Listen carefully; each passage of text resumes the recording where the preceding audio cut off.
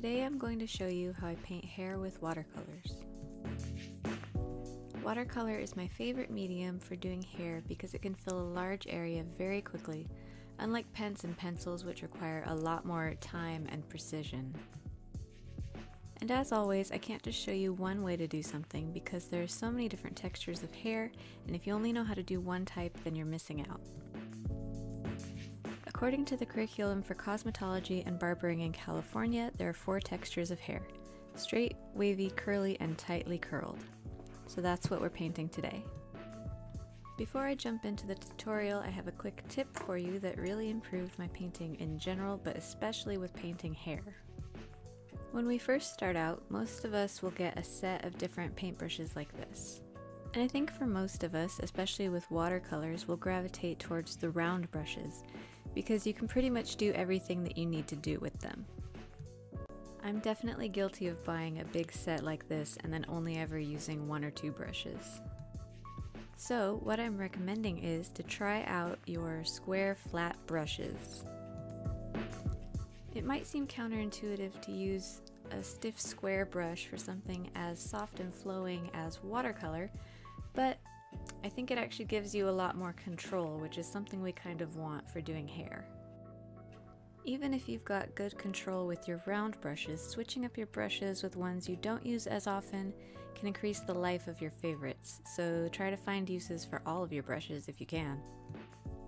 Now I'm going to show you similar strokes with the flat brush, and my theory is that if you hold it vertically like this, you actually have a little more control when you're doing straight lines because there are less bristles to splay out everywhere when you add pressure. So as you can imagine, when you're painting hair and a bunch of hair very quickly, this is kind of helpful.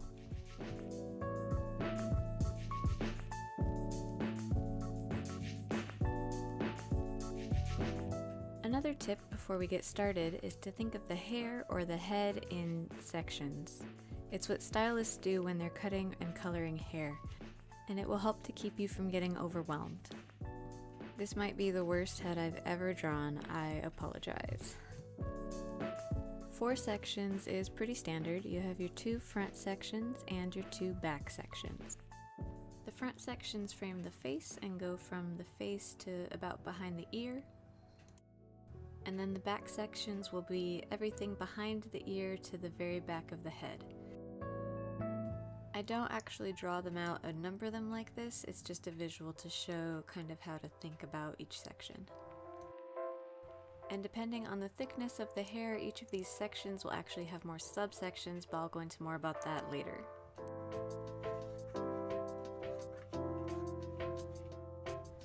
For all of the hair types, my first step is to do a base layer in the lightest color that I'm going to use. It can either be completely filled in or you can leave a few highlights if you want to. The flat brush is really great for this step because the corner of the brush is very stable so you can get the paint right up to the edge of your sketch without much effort. For the sake of not wasting paint, I'm going to use some colors that I don't actually use very often. So these are the two colors that I am using. The one on the left is lighter and the one on the right is darker. Obviously you can use whatever colors you want. For the sake of simplicity, I'm just keeping everything in the same color family.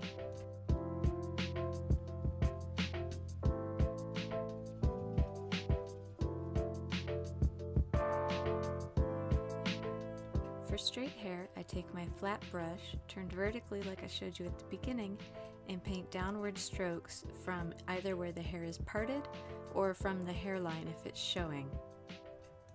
In this case, her hairline isn't showing, so we're to assume there is a center part near the top of the head. And the way to make this look really nice is to vary the pressure that you're applying with your brush. Similar to the strokes I showed at the beginning, you want to push down and then slowly lift up to create a point at the end of each stroke. This footage is slightly sped up, so obviously you can take your time with this. Unfortunately, I didn't realize that this was a terrible angle for filming this technique, but don't worry, the rest of the tutorial is more visible and the angle will change eventually.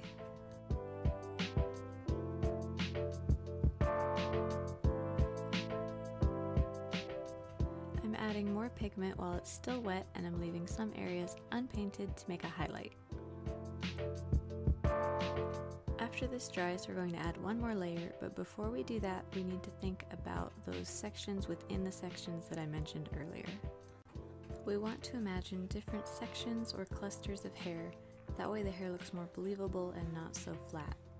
If you're using a reference, you can look for them, but if not, just try to imagine how hair might fall naturally and overlap on itself. I'm switching to a small round brush for this step. And all I'm going to do is use my darker color to define a few sections using that same up and down painting method that I've been using. The places I try to focus my shadows are at the part or hairline and on the underside of the hair if it's showing. Usually that's the area framing the neck. With watercolor, less is more, so be careful not to reactivate your lower layers too many times or it will start to get muddy.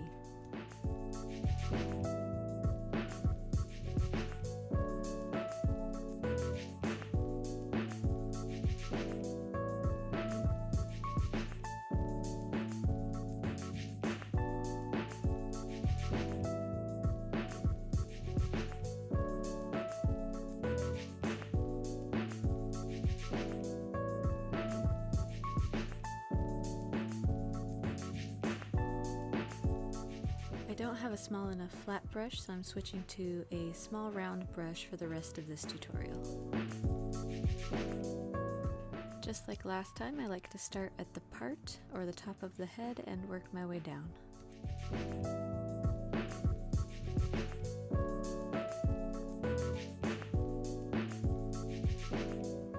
I like to start establishing sections by putting in wavy lines and then I'll start filling in the different parts of the wave on each individual section.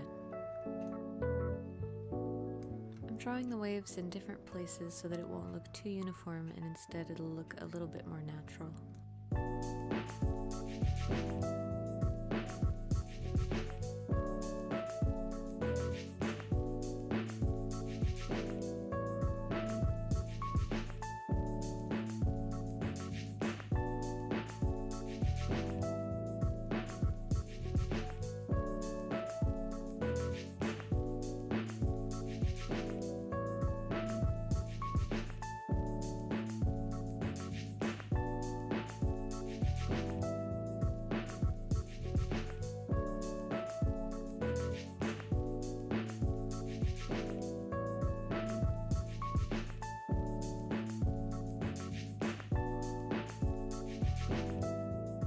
Let's talk about highlights and shadows. When hair catches the light, it tends to reflect in a halo shape around the head. It can show up all throughout the hair but will typically be on high points. So with wavy and curly hair, that halo shape will be broken up to sit on the high point for each wave or curl.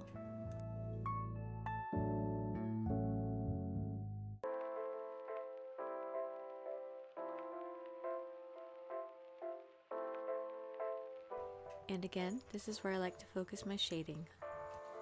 With wavy hair, the shadows are also broken up and you'll see even more shadows between each section because the waves are casting a longer shadow over each other.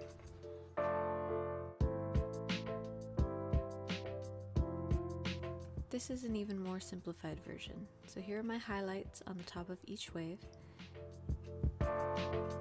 And then here are the shadows underneath each wave.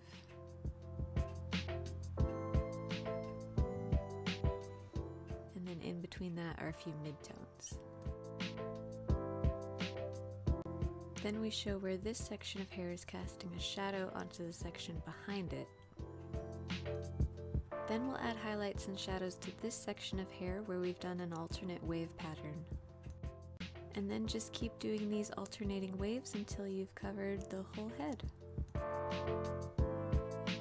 With each darker layer that I add, I just want to keep reinforcing my sections instead of letting them get lost.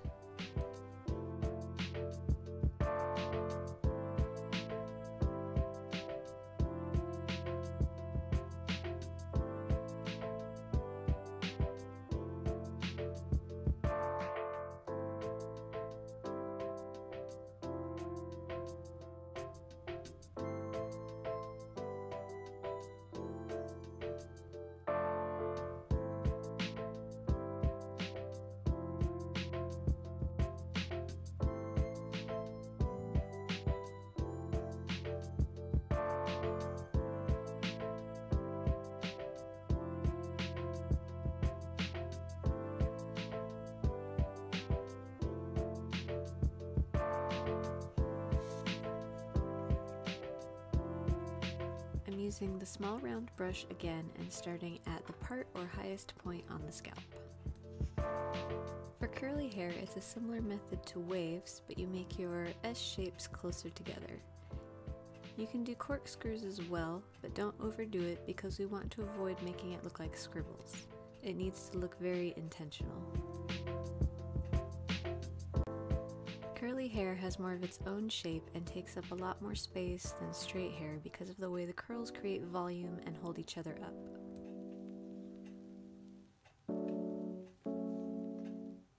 For the most part, I'm doing all of the same steps that I did for the previous hairstyles, like starting from top to bottom and left to right, and going from my lightest shade to my darkest shade.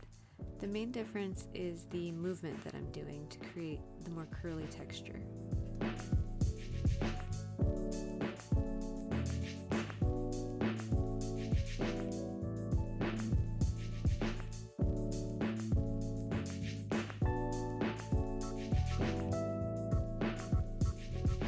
Now just like before, I'm using shadows to create defined sections.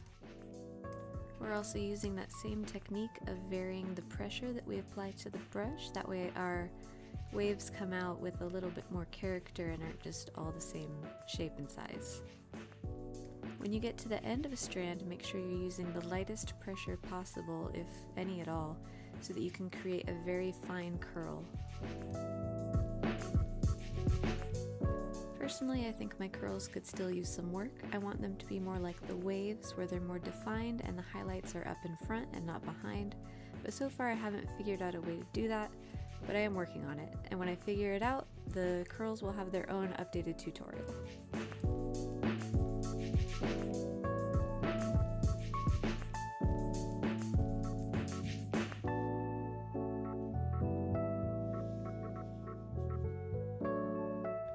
For tightly curled hair, we're going to use a small pointed brush to make lots of tiny, delicate circles that are directing outwards away from the scalp. It might look a bit tedious, but it's actually kind of therapeutic and the resulting texture that you get is very much worth it.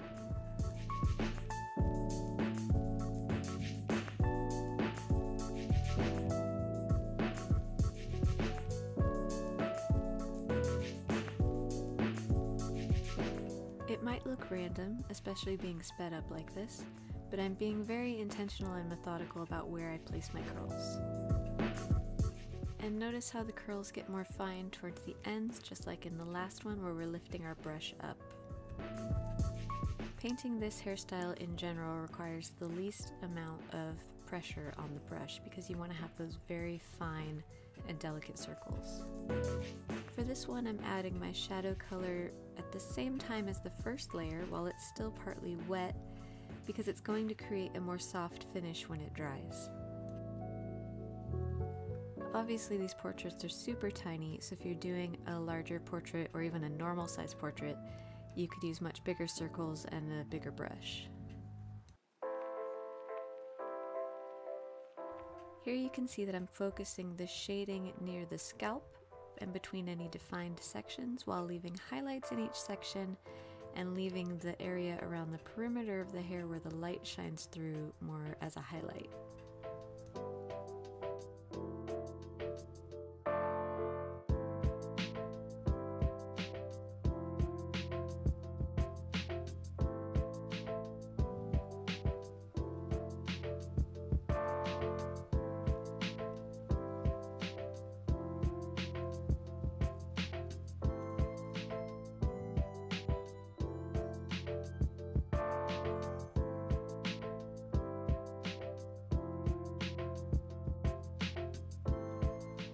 If you don't typically draw or paint different textures of hair with your portraits, I recommend giving it a try and including some more diversity in your artwork.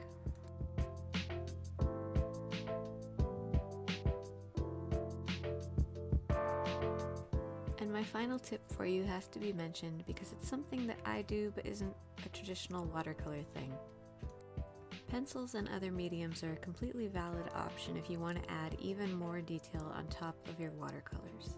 That might seem obvious, but I used to be afraid to mix different mediums together.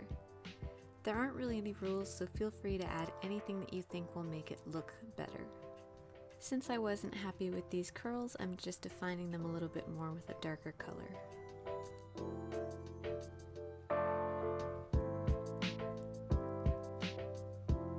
And that's how I would paint the four basic hair textures with watercolor.